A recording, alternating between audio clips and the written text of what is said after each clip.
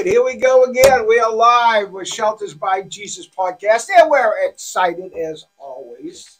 We're excited that you're watching. We're excited that you're subscribing. We're excited that you put like on there because that helps us take care of the homeless. And if you want to know more about us, go to sheltersbyjesus.com and you'll see that you can support us for $9 a month. You can get somebody off the street. That's pretty cool. And uh, we have four books all about this place called Shelters by Jesus, and uh, they're written by the dumb hit from Skowhegan. That would be me. And uh, if you would like those, put your name and address on here and say, I would like books one through four or all four or whatever. And there are two prices. They are $10 or they are free. Uh, the other thing you can do is call 207 474 8833 for the office. Tell the office worker, I would like Pastor Berry's books, and we'll see to it that they go out. Just give me your name and address, and we'll take care of that. Also, if you want a tour, you still call the 207 474 8833 and ask for a tour. And we'd love to have you come here live. For the tours, come for a live service at 5.30 on Saturday night. We have live worship music followed by my message at 6 o'clock, which is streamed. So those are all our advertisements, and we're ready to go. Today, we got another special. We've been trying to do different things. So what we do is here we have a staff that helps us keep things running. And our staff is different than most staffs. They don't get paid. they work for room and board. Uh, all of them came here as homeless and uh, have shown qualities that we loved in them. And we go, boy, we'll put them on staff. And they all have their own thing. So we just want to introduce him to you, and then uh, are these mics on?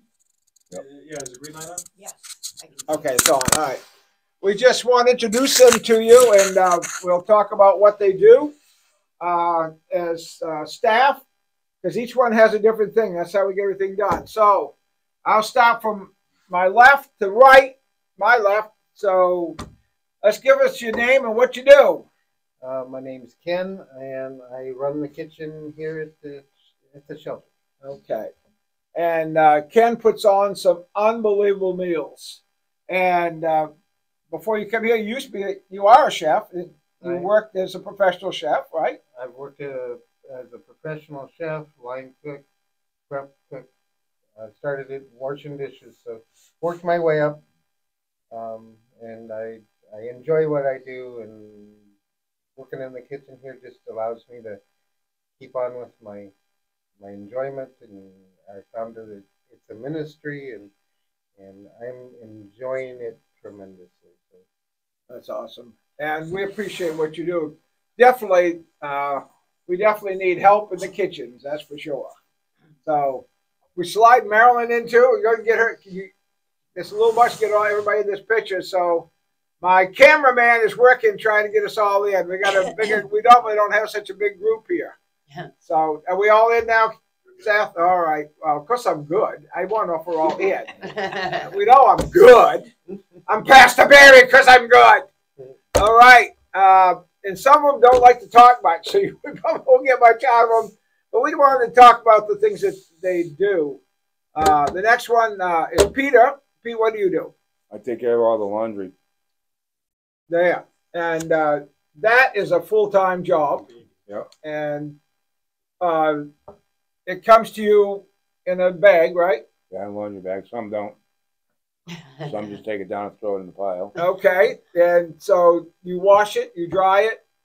Yeah. And, and if it's a laundry bag, you put it back in the laundry bag. Yeah. All right. So, and uh, so we have these laundry bags that are actually made on the premises now because we have a bunch of sewers. So Pete uh, is responsible for seeing to it all the clothes are clean, all the bedding is clean, it's all washed, it's dried, and it's back. So that that's how uh, we get the job done. That's if you come here and you want to know how the laundry's done, that's how it's done. Now, he does the uh, men's side anyway.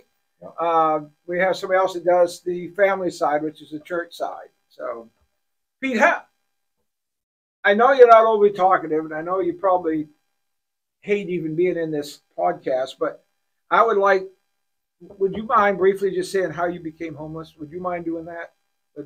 I was I was living in Maine. I lost my job. My vehicle went, so I had no income.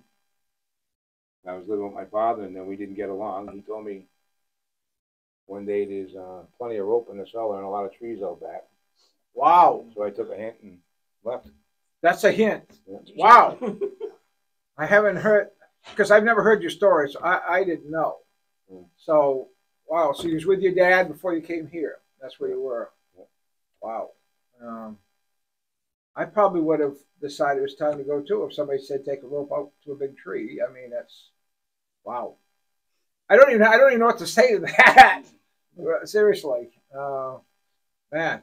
I but I want you guys to know that are watching this. Pete does an unbelievable job. You've been doing this for quite a while for us. You know, Over a year, I'd say at least. almost two years. So we're so blessed with our staff. Uh, residents that don't get involved with staff, they look for you know they're moving along. We we love it when our staff just sticks around, and some of them stick around quite a while because they care about this place and they just stay here and help. And uh, I'm sure Pete could leave if he wanted to, but he sticks around anyway. Yep. Yep. And uh, we appreciate it. All right, next in the line, Michelle. Michelle. You've been on my podcast before, Yes. and so, but we didn't talk about you being a staff member, so this is altogether different for this one. So, uh, what do you do? Um, I lock the doors at night, make sure all the kiddos are safe and everybody's in. Um, and I just, as I look up to Marilyn a lot, I try to be somebody that other people can follow the rules. And um, I, I do the bathrooms. and, And we I try to appreciate pick up- that. Bathrooms is a necessity. I will tell you that right now. with 23 kids here, not counting the parents, with one shower and um, four bathrooms. It's it's yeah, it's a lot, but I can um, I get to stay here, and as long as I follow the rules, and I like everybody else, I definitely have my own issues, but I have people to go, go to, and I have the Lord, and I'm grateful for my staff position. And again, we're hearing these guys work. We got a, a cook, laundry, cleaning. They all do this for. They, they don't get any salaries at all. Uh, this is why we can do what a lot of shelters can't do because they have to hire people to come in and do all these things. And so they're limited on time that they can be there. They're limited on how long the folks can be there. you're paying them by the hour or salary, whatever. But these folks are just working for room and board, so they're here 24 7. So we have that advantage, and it is an advantage. We're 100% faith based, so we depend on your $9 to run it, and that $9 goes further because we don't have to pay these guys. Uh, that is an unbelievable blessing of God. All right, and on my further end is Maryland. Marilyn. It is that, that you are Marilyn. Yes, you look just like her. Uh, Marilyn, uh, is that mic close enough? Are we picking her up good enough? I, I can't tell. Okay, slide it over there a little bit. There you go. We'll move these a little bit, kind of divide them up a little bit. There we go. Because I want to hear Marilyn tell them all. uh, she is a do it all dolly around here. So you are staff, and what are the positions you take care of while you're here? Okay, uh, as a staff member, I do the supply room. Yep. I'm in charge of. Now, what is the supply room? They hear that. the- They may the- not know what okay, you the do. Supply, when people, uh, because different, in the morning, chores are assigned and different people have different chores to do, so they need to come to get the cleaning supplies to do the chores. So that's in the supply room and I divvy them out. Okay, Yep. So and- you run the supply room yes, I do the laundry. for the, the family shelter. Yes, for the, for the family shelter, yes, Yeah. not, not Pete's side. But over here I do the laundry, yes. And you do the same thing. You, And you the bags come. they, they bring their laundry down basically and I, I clean it and send it back to them and, yeah. So it's washed and dried. Washed and dried and sent back to them, to their rooms. Yep. Yes. And you have other jobs here. Uh, sometimes I cover the office for Seth. Yep. If he has to leave, I'm just learning how to do what Seth is doing now with the camera. Your new podcast, and- Camera and- Woman. and- I almost said camera man. You're not a man, so it's I'm not a Camera man. Woman. And, and I love doing that. So you just I, I love doing everything that I do. I do. awesome. It's I feel privileged to be able to do, give back. Okay, Seth, why don't you come around and talk about your staff now?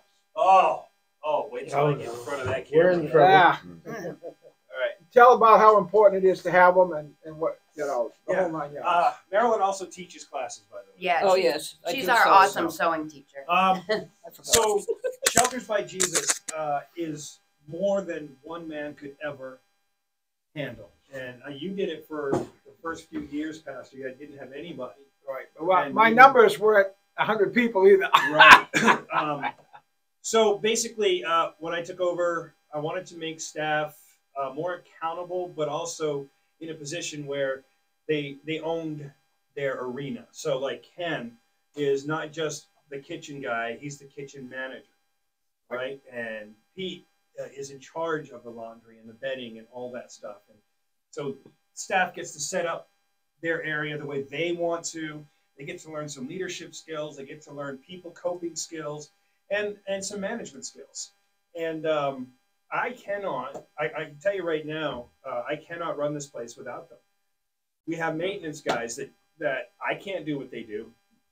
And they're saving us a ton of money because they can do the work themselves. Absolutely. We can buy the parts or whatever we need cheaply, and they can go in with their skills and, and save us. An average is like seventy five dollars an hour in To an labor right now. Seventy-five to hundred. Yeah. So, um, and uh, and they do it with such an amazing heart. Uh, they love Jesus. They Yep. love the ministry. They love this place. So, you know, I don't just got um, homeless people to boss around. What I got are people who have stepped up and, and have the same issues as, as most of our residents, but they've added to their issues. They've added to their plates, but through the service, it's it's changed them. It's made them And we're and our selection process is based on how do we select our staff. They might want to hear that. So, um, as tempting as it might be sometimes to take that new resident who's super friendly and, and all this stuff to put them on staff, uh, that has often backfired. Yep. Um, so basically, what we do is I, I, I observe someone for a while, and I mean a while. We watch their character. We watch how they handle things when they get upset. Uh, we watch how they interact with one another. We try to see where their skill sets are at, what, what they can bring to the table, because I want to put them in a place that they can put those skill sets to And be successful. and be successful. Yeah. Um, and, and they struggle too. Like you know, uh, Ken Ken will come and he'll have a, a, a bad day or, or whatever, and he'll need some a couple days off. And but that's being human, right? We all need that. Um, Amen. But yeah, and then we'll pray about it, and then you know, my assistant director Rick and I will talk, and we'll, we'll say, hey, let's give this guy a shot. Sometimes it backfires, which is small. It's, that's rare now. Now that we have the system in place. Yeah, because mostly we know the, the people you're asked to do something. You've got a pretty good idea of what they're like. what they're like, them. right? What they can handle. But uh, these folks right here, um, without them, I don't know what. I, I honestly don't know how I'd handle the shelter. Yeah, staff. I mean, every place needs staff. Mhm. Our thing is, how do you develop a staff with no salary? We can't go up to somebody and go, "We can give you X number of dollars for doing X number of work." We we simply say, "We got this. Would you want to help out?" And that's how we got our staff. I mean, Yeah. they And- just and say, the- "I'll take it over." the And- best we can offer them is privileges we don't offer our normal residents. right. Uh, some of the privileges are Uh, staying out later, there. You go. um, not having to sign out if you need a day off. Yep. Um, you know, and, and really, we look out for each other quite a bit, and we'll counsel each other and talk to each other and say, "Hey, how you doing?" Because, Yep. uh, staff member is, is stressed, and it's they're doing it out of their heart rather than out of their wallet. So, yeah, So what we have rules and regulations for the residents. The staff tries to set an example of that, but like we, do have curfews for the residents, which we have to have. But the staff is treated more like hired help, even though they don't get paid. They're still like hired help, and uh, so they are not listed as a resident. They're listed as staff, which separates them from the others. It allows them to do some of the things that the others aren't allowed to do. Uh, so, but for those little bit of privileges, these guys work their tails off. Uh, they've earned their privileges and then some. Uh, again, we could not do what we do. We could not accomplish what we accomplish without a staff that is willing to work just for some fringes. uh, because we cannot afford to hire staff. We're not on faith based. So the only ones that are compensated are myself and, and Seth, who is the uh, chief of staff. We're both compensated, and uh, for which we're very grateful. Uh, but our staff, other than that, there is no no financial compensations whatsoever. It is just no extras. So I I want to go on record saying thank you to every one of you guys that serve here, taking care of the homeless. You're welcome. Uh, you guys are what it's all about. You guys make it make this place operate. Uh, we could not we couldn't make sure that people had clean clothes, that their bathrooms were clean, uh, none of this stuff. The food on the table. I mean, otherwise I'd be throwing a loaf of bread and some bologna at them because that's what I would be doing. I'm not cooking a five course meal. Been tempted. Been tempted. well, we've done it once or twice. But you know, you guys bring such skills and gifts to it, and with the right attitude, and we appreciate it.